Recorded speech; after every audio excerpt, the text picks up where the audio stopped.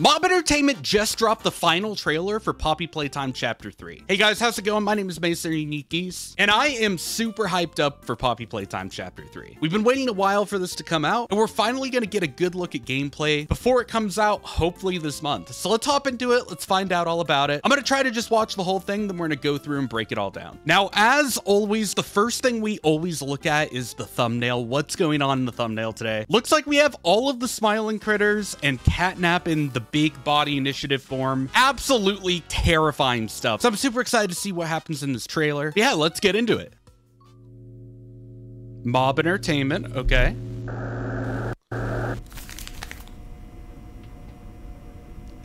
We're on like a light projector, okay.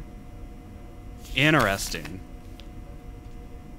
There's definitely stuff to look at here. I'll I'll go back through and pause everything, break it down, but Play Care, our very own on-site orphanage. But it's not only that. It's a school, a playhouse, a place to belong. Okay. Oh shit, dude. Dude, that like VHS like body cam stuff. Now look at it. Oh, I didn't like that.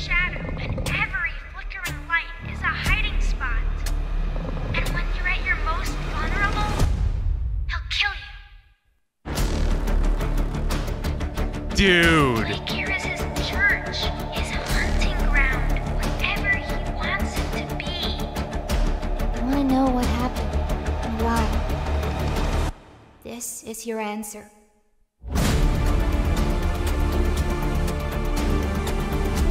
This looks insane, dude.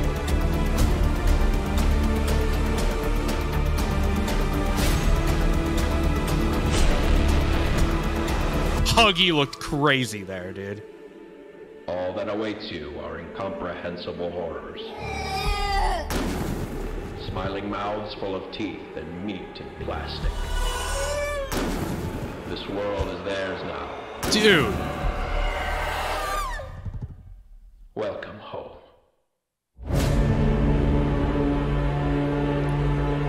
Dang, dude. There's a lot to talk about here. There's a lot to talk about here. Comes out on the 30th. Okay. Okay. Okay. I'm hyped. I'm hyped, dude. Okay, so let's go and break it all down. Uh, I, I'm trying to get better at whenever I do these reactions to let it play through once. Okay, so we got like basically like a projector, light screen projector. It's like um uh, basically it's in school. I don't know if they still do this, but I know growing up in school they had like the light projecting thing where you'd have like images and like slides that you can go through by hand. Uh, it looks like there's some children here. Their faces are crossed out. They're probably dead. Um, project proposal for the Bigger Bodies Initiative. In continuation of our work, Experiment 1188 aims to leverage with our golden path forward. It's kind of a bunch of just like sciency talk uh, with not too informa- too much information. Uh, I'm not like super involved in the Poppy Playtime lore, so if you guys have some information uh, as to like who specifically 1188 and 1180 are, let me know. I don't want to like sit here and be like, yep, that's Huggy, because because I don't know. But it's interesting. It's interesting to see. So it's seeming like maybe they're using the children in the bigger body initiative is what it's seeming like. Um, these monsters could be some of the kids. I, I, I think that was pretty predictable. This environment looks awesome. Clearly, like I, I mentioned this in like one of the previous trailers, but it's clearly like a very uh, artificial environment, and it almost feels like a movie set or something because it's got like the the artificial clouds that are around. You can see the factory from basically every other chapter on the outside, and then you have like the clouds that are floating through this whole environment looks insane. I can't wait to explore this. This looks awesome. Looks like you might have some like little dinosaur uh, lamps here. It's kind of fallen apart, but it's still like intact. Looking at this here, um, down here it looks like there's a battery spot. Like it's one of the mechanics that we see later in the chapter. I don't know. It so far it's looking good. The environments look awesome. Definitely like another place where you could throw in a VHS to get like hidden lore here. I like this. I like that you can see Dog Day there. I like that it's kind of cool to see Dog Day implemented more as like a character and less of like one of the smiling smiling critters. I do also like these pillows down here. These pillows go crazy. The playhouse looks good. Um, it, it's tough because like the spray painting of like joy for the hour of joy and like the handprints tell you that people have been here for a long time and are aware of like their situation. This looks insane, scary though. Yeah, it's like the orphanage area that we saw in a previous chapter. I love these like VHS um, body cam shots. I think more horror games are going to continue to implement this because it's a style that's like fairly easy to pull off if you're dealing with the right filters and you're doing like the the right things like in engine to create cool camera movements. But it turns out so real and scary. Um, so here's the crashed train from the previous trailers. From the looks of it, I, I don't remember which one this is. I'm pretty sure it's the bear. Looks like a statue of it. Maybe for a puzzle or like maybe you have to sneak around this area like it can't see you for long enough because it's kind of following you. We have like a new hand that shoots like a flare from what I'm seeing.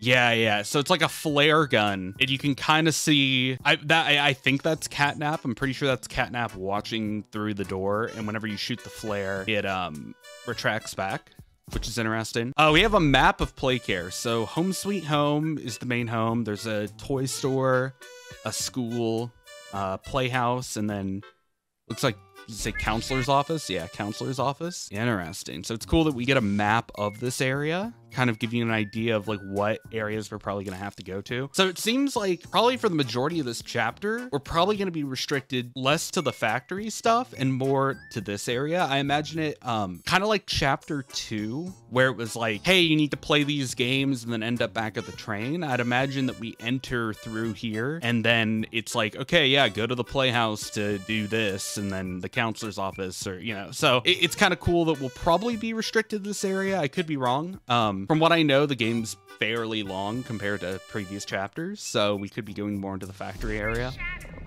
Um, I do like this. This is a kind of a cool area. you know, I, I don't know why. Something about like energizing your hand through a hallway like that looks good. The jumping mechanic looks great. Yeah, and then more like body cam, like horror. Uh yeah, it seems like we can like I, I don't really get the point of like a scoped in hand here. I'm assuming because it's still a left hand, I'm assuming this is still our left hand, so I don't really know why we're scoping in. Maybe maybe this is how you shoot far. No, no, no. Okay, wait. This is a separate gun. Oh, I see. Okay, so I think what's happening there is you can aim this however you need it and then shoot it to and it'll shoot in that direction. And I think from previous trailers, like the arm was looking super long. Maybe this is part of that because I know like in a lot of the puzzles that we saw, especially in the last trailer, the arm was like way too long compared to how far we've been able to stretch it in previous chapters. So maybe we're actually going to be hitting this, and this has like infinite range or like a super far range. Uh, here's the battery that I was talking about. There's a battery spot outside of the main like home sweet home. This looks kind of crazy. This like padded area. This looks pretty neat. Got the flare. Uh, looks like we have the mask on. This could be in like the. I'm, I'm seeing like head something. There's another one. Head of something. Nate Carpenter. Maybe this is the counselor's office, and Catnap flooded it with the gas. That makes sense, I guess. Uh, like a toy car that's gonna go and break down a break down a gate or something for us. Okay. is your answer. And then there's video of the Hour of Joy. So that could actually be like this tape, um, which would be pretty tight. I, I hope this is like act- actually something in the game and not something they whipped up for the trailer. Because I've had ideas to do similar stuff for Indigo Park, especially in Chapter 2. So it'd be really cool to see them execute on that. Catnap looks terrifying in this shot, though. Like, ah, dude, that's so good. So good. Um, kind of looking at this. Yeah, I can't really tell. I can't really tell who that is. That looks like a more like feminine figure, but I don't really know who that is. But there's someone standing there. Yeah, so it looks like maybe this is like right outside of it. So we will get a bit more of like a factory view. Or like in a cave. There were a couple areas like that in um in chapter two where like you were running through like a caved area, so Could just be more expansion. Uh, here you're running through like the play pipes and Dog Day looks. This doesn't look like the bigger body Dog Day. This looks like. This looks like a Dog Day, but just like the plush. So maybe there's also like the little plush versions that are going to be attacking you as well. And you have to just kind of manage them with the flare gun. That's interesting. Um, yeah, more play pipes and stuff. Yeah, I think we're gonna get a lot of like this kissy missy poppy dynamic. We've seen this in a couple trailers now, these two interacting with each other. So that, that shot's kind of funny because it gives me like superhero vibes. Like feels like a Marvel movie or something. Like it's awesome. And then yeah, Poppy here looks or sorry, uh Huggy here looks absolutely insane. Like holy shit, what is that? Like is this the same Huggy that we saw in previous chapters and this is him like coming back from the dead? I I don't know. I don't know. I know there's a lot of people really hyped up to see Huggy, so It looks insane.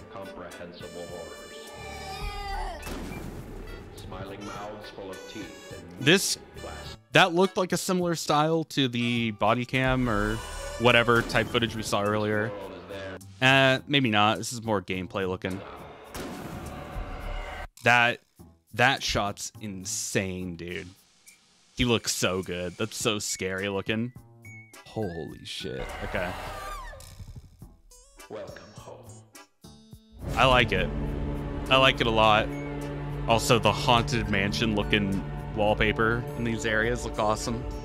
Sorry, I'm I'm making Indigo Park. I'm the I'm the theme park guy, so I, I know that stuff. But um, yeah, yeah. Looks like the 30th is when we're gonna get when we're gonna get it. Um, that's on Tuesday. That's on a Tuesday. But yeah, this is shaping up to be like massive. Um, I didn't even notice the bugs. You guys see the bugs on here? That's gross. But yeah, this is shaping up to be massive. I've heard a lot of really good things about the content here. Um, and it's definitely going to help inspire some stuff that we do for um, Indigo Park.